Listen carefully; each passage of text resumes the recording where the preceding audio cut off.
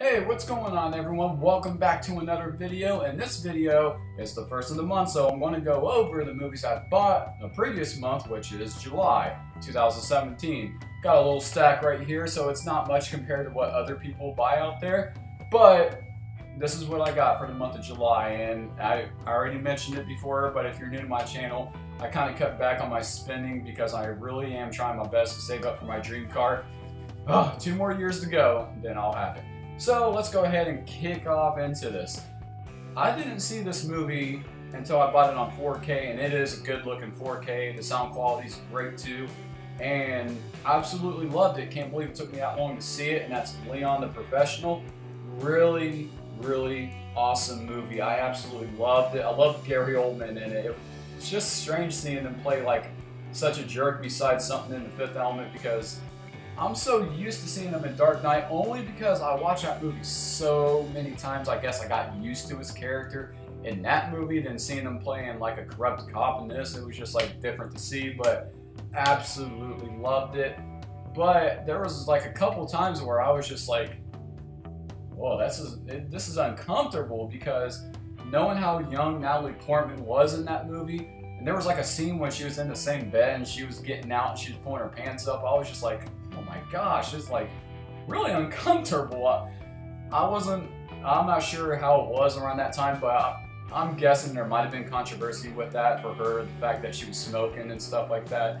But do you think a movie like that would be made nowadays? That's kind of hard to say because that was some, there was a, those scenes were uncomfortable with her talking about like, you know, if you've seen the movie, you get it, but I don't want to say what she was talking about so I don't spoil it for people who hasn't seen it. But anyway, let's go ahead and get into the next one before I say anything else. I got the 4K edition of The Fifth Element, Steelbook 2, and I'm really disappointed in this Steelbook release because of one thing. Usually if you get a Steelbook and something that looks nice on the outside, you would like to have the inside looking great too, but it's just plain, like whatever color that is, teal, greenish, or whatever but it's just blah. It's just so plain. I kind of disappointed in that release, but overall, it's a good looking 4K, good sound quality. So definitely check this out if you're into 4Ks. You like the Fifth Element, definitely pick it up. Luckily, I don't have the Fifth Element on DVD or Blu-ray, so it wasn't a double dip for me. Speaking of double dips, I remember hearing about this, and a lot of people were really ticked off because I didn't see any of these movies until I just bought them recently too, so I know a lot of people were so ashamed of me that I haven't seen They Live, and this was such a good movie. Sorry that it's going in and out. I'm using my webcam off my iMac. But They Live was such an awesome movie. Another one just like Leon. I can't believe it took me so long to see because I love John Carpenter, but it took me a while to see this movie, and I absolutely loved it. And I really don't want to give anything away in case if you haven't seen it, but man, this movie plays a bigger role today than it did back then, it feels like, with all the subliminal messaging and all that. So, definitely a crazy movie to watch. So, check it out. And I do have the Fog Steel book, and I do have the posters that came with it, but you know, you'll have to see my unboxing video. I, I don't want to talk about that, and because this is about the movies I bought, not about the posters. But point being, I have not watched this one yet. Haven't seen The Fog yet. Just been running out of time recently. Just on Monday, I accepted some overtime. So I've been really extremely busy here this last week, but I go on vacation here starting Saturday, so I can't wait. I'll be able to sleep in a little bit and actually go to the gym without things getting in the way, so rock and roll on that.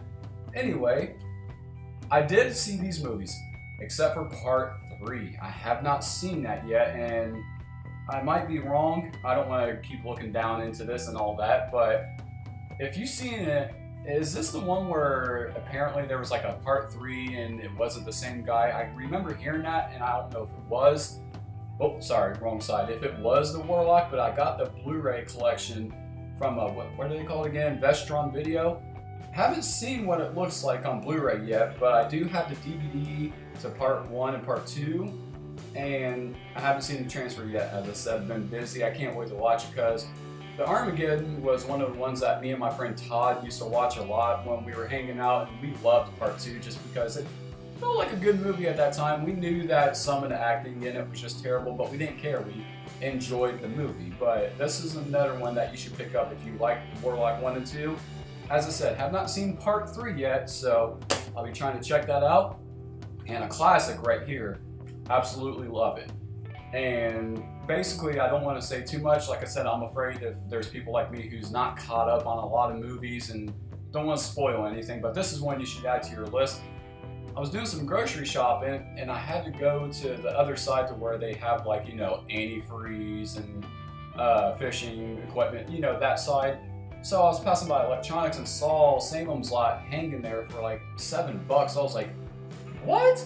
For the Blu-ray? So I picked that up in a heartbeat. I was like, I don't got the movie yet, so good time to add to my collection. So really enjoyed this movie. I think you will too, so definitely check this movie out. And what did you think about it?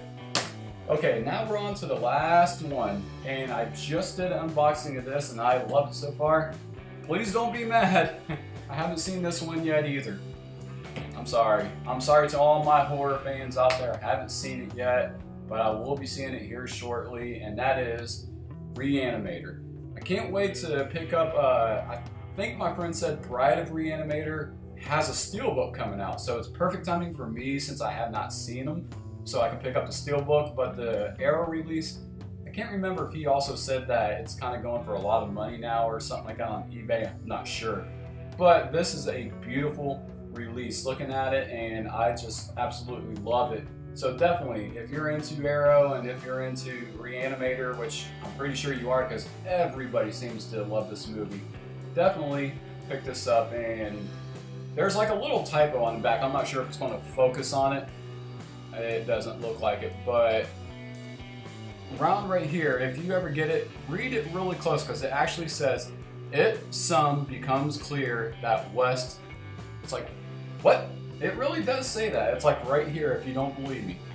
And like I said, it won't focus when it gets up close, but it some becomes clear. Like, did they proofread that? no, but anyway, just messing with them. But I really love Arrow. Beautiful release, love the little comic in it, and I haven't read all of it yet, but I really need to watch this in a heartbeat. But what should I watch first? To all the people out there who love horror movies just like me, out of the ones I have not watched yet, which one should I watch first? Reanimator? The Fog? Or Warlock Part 3, which I feel nobody's going to vote for, but hey, these are the ones in my collection I have not watched yet. So what is your vote? Which one should I watch first? Because won't have time today because I gotta wake up at 2 in the morning and start getting ready for work and it's 2.36 right now so I still gotta go to the store, gotta go get some grocery shopping and all that good stuff, take a shower, shave a little bit, I'm itchy. But okay, and that's all in my collection. What did you pick up for this month? Thank you once again for stopping by and watching my video. I'll see you guys in the next one. Check you later.